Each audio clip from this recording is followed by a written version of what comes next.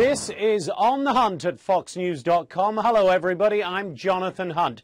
Saudi Arabia is continuing its campaign of airstrikes against Houthi rebels in Yemen. Those airstrikes backed by the U.S., although not carried out by U.S. aircraft. But is it working? The rebels seem to be pushing further and further into the important port city of Aden. So let's ask our guests now where this is all headed. Colonel Cedric Leighton, formerly of the U.S. Air Force, uh, currently president of Cedric Leighton Associates, and David Weinberg, senior fellow with the Foundation for the Defense of Democracies. Uh, Colonel Leighton, if I may come to you first, uh, as uh, a retired U.S. Air Force colonel, are the airstrikes working? Simple question, yes or no?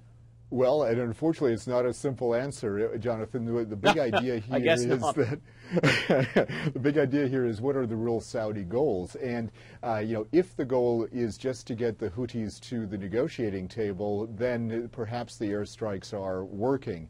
Now, from a tactical military sense, because there's some difficulties apparently with the targeting that the Saudis are using, I would say that the strikes are not working. At least they're not working as part of a concerted air campaign or military campaign that I can discern at this moment. And, and, and Colonel, it, it seems to me, and, and you have said this before on uh, various subjects that we have spoken about over the years, is that air power is rarely successful on its own.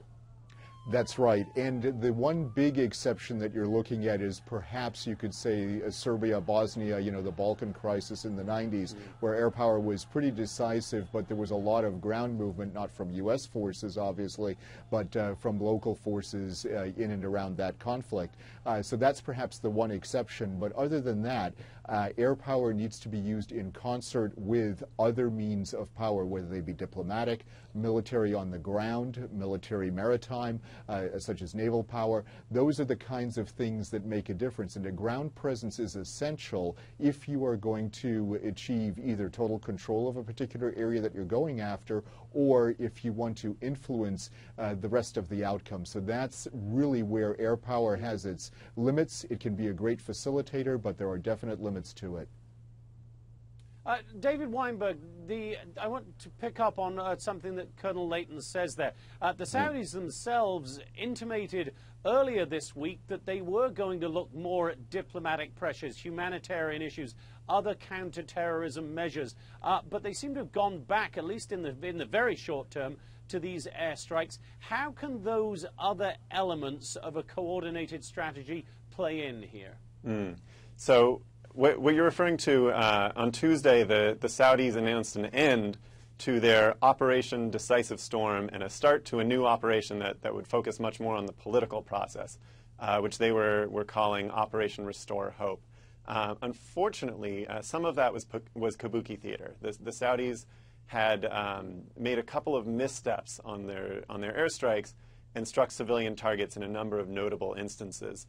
Um, one instance in which they struck a military target on Monday, uh, a huge weapons and ammunition store, uh, set off a massive, um, enormous uh, mushroom cloud um, over the capital uh, of Sana'a and uh, created a, a, huge shockwave, uh, injured hundreds of people, killed dozens, and within, also that was the day when reportedly the, the Saudis um, intimated to America that they were going to be ending that stage of their airstrikes within 24 to 48 hours, and that's exactly what they did.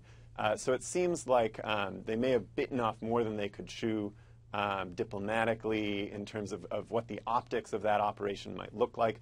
So what they did is they transitioned from one military operation to another with a, with a, a more prominent political angle. So what they're no longer doing is they're no longer going after missiles or aircraft um, or um, uh, destroying command and control centers, the sorts of things they were doing to basically ensure um, military dominance over the, over the rebels in Yemen. Uh, but what they haven't been able to do is they haven't been able to restore the legitimate government inside Yemen, and they haven't been able to actually push the rebels back from controlling the capital or large parts of northern Yemen. And that's something they're not going to be able to do, and these airstrikes apparently are still continuing in a couple of parts of Yemen because the rebels actually haven't been cowed into, uh, into surrendering.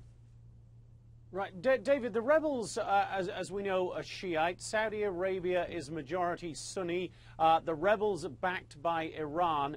How significant is that as an element to this, uh, David, whether it, whether it be the, the Shiite nature of the rebels or the, the Iranian backing? And how far do you think Saudi Arabia would go to prevent the Houthis uh, taking control of Yemen uh, in much greater force? Mm.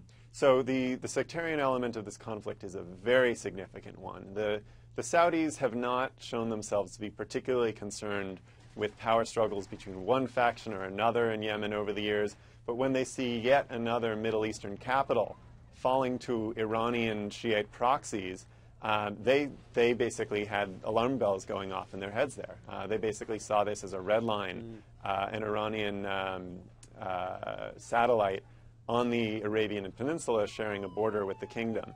Uh, there is no way that the Houthis would have been able to, cap, uh, to capture Yemen's capital without the enormous amounts of support that they were getting from Iran in the last year, and in fact over the last several years, including weapons by the literal ton. Uh, this, this, so this sectarian element plays large in that sense, and it also plays large domestically with the Saudis, who we're getting a lot of flack internally for launching airstrikes against the so-called Islamic State, which, like the, the majority of Saudis, uh, is a terrorist organization that's Sunni uh, in its, in its uh, allegiance. Mm. Uh, very quickly, both of you, uh, as briefly as you can in a sentence. Uh, Colonel Leighton, to you first. any end in sight to this, or is this something that we are all going to be reporting on for months, if not years to come? I think we'll be reporting on it for months and years to come, Jonathan, because the underlying issues don't go away. Uh, there may be a military truce, a political truce, uh, but nothing, uh, nothing more than that, and that's just going to paper over differences, in my view. And David, your prognosis? So Saudi Arabia's King Salman said at the beginning of the, the campaign that the goal was to create a unitary, stable Yemen where there would be uh, state control over all weapons and um, legitimate equal power sharing. And frankly, if that's his goal, he's guaranteed failure. But either way, he set right. such a high objective, he can't back down now. Okay, David Weinberg, Senior Fellow with the Foundation for the Defense of Democracies, and Colonel Cedric Leighton, President of Cedric Leighton Associates. Thank you both very much, gentlemen. This has been On the Hunt at FoxNews.com.